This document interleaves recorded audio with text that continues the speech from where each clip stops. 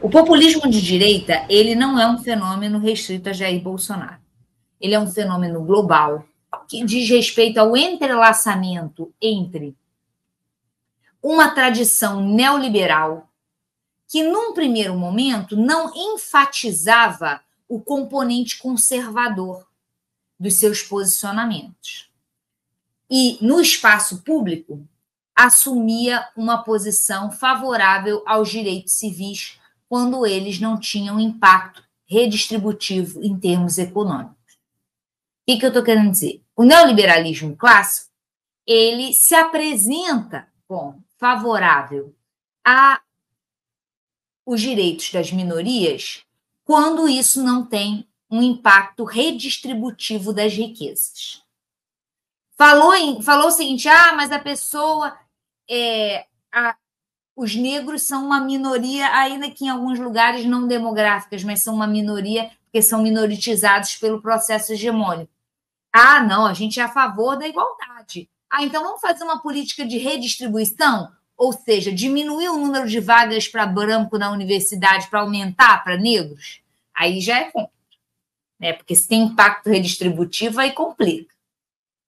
Mas a partir da segunda década do século XXI, mais ou menos, esse componente mais favorável aos direitos civis foi sendo substituído por um componente conservador. E com isso, ou seja, que enfatiza uma defesa da sociedade e suas hierarquias tal como estão. Esse léxico conservador permitiu que o neoliberalismo, que antes tinha uma dificuldade de penetrar camadas populares, de acessar camadas populares, porque, em última instância, defendia a rentabilidade dos investimentos em detrimento dos processos redistributivos, e vamos combinar, essa não é uma bandeira das mais populares, ele começa a se popularizar quando se entremeia com a defesa das hierarquias tradicionais principalmente no caso da família tradicional. E com isso, ele encontra eco em outro vertebrador do tradicionalismo, que é a religião. Por que eu estou sendo muito cuidadosa nessa fala? Porque eu não gosto dessa ideia de que a direita se tornou conservadora. A direita sempre foi conservadora, patriarcal, sempre teve um componente religioso forte. Mas o que ia para a esfera pública era um posicionamento mais voltado para a economia.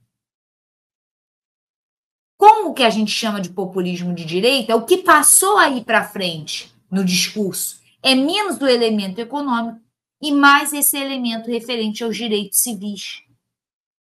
E é por isso que ela conseguiu se popularizar de maneira é, mais enfática. Pablo Marçal tem esse componente conservador. Mas ele tem também um componente econômico que, a partir da religião, também se popularizou, que é a ideia do empreendedorismo. O empreendedorismo ele é vertebrador do discurso neoliberal, mas ele foi reverberando para as classes populares a partir da teologia da, da prosperidade e de outras formas pelas quais a religião começou a enaltecer essa ideia de você ser um líder de si mesmo e com isso conseguir as graças de Deus, de Deus a partir desse esforço pessoal.